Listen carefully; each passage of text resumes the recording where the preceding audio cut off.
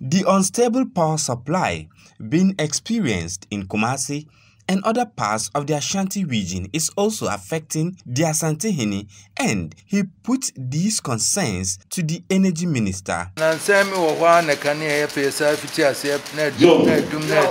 akɔkora mi wɔ hɔ a na edum na asa asɔ na mi nyinaa sɛɛsɛ nam sɛ yɛnkɔka no kyerɛ ne sɛ ɛdɛ ti na kanea saa yɛ sɛ bi wɔ dabi deɛ ɔno a wɔba fie wɔkɔ akɔdidi na kanea foe n'anim na edum na so na po na ada deɛ na abɛn na ɔsɛ na mɛkɔ akɔhwɛ amena yi na deɛ ɛyɛ me da nnɛ wɔgyina ha ɛka ne sɛ ehunu sɛ kanea no yɛ na mafa mpanyinfoɔ a ɛwɔ mu nyinaa so wɔn nyinaa mmea mmra ne ɛmɛhwɛ ade korɔ na nɛ engineerfoɔ ne nipa a ɛhwɛ nkanea ne nyinaa wɔde nyinaa ba m'anim nɛ.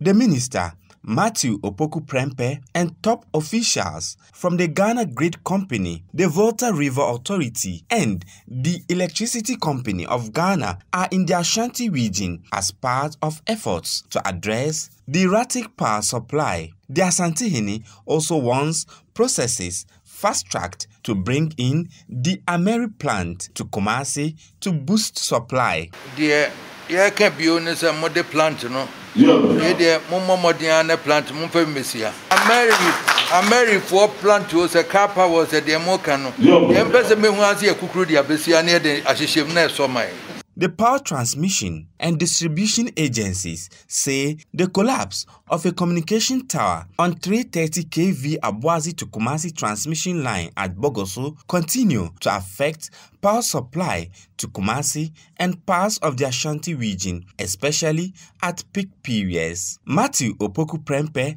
described the sighting of structures close to sensitive transmission lines as unacceptable. Everybody got to know that don't construct structures near high tension cables and things because they can have an effect on the whole public good that we are enjoying. The people who pass will then shout, ah, Look at what a badly sited mast has done to the whole people of Kumasi and Ashanti.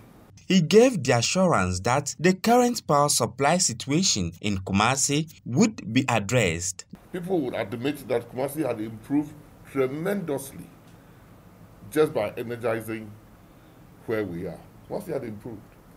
So, for those of us uh, who are in charge, we will continue to give the support to ECG and GRIDCo to ensure that whatever necessary is done the ministry says processes are advanced to relocate the Ameri power plant to Kumasi.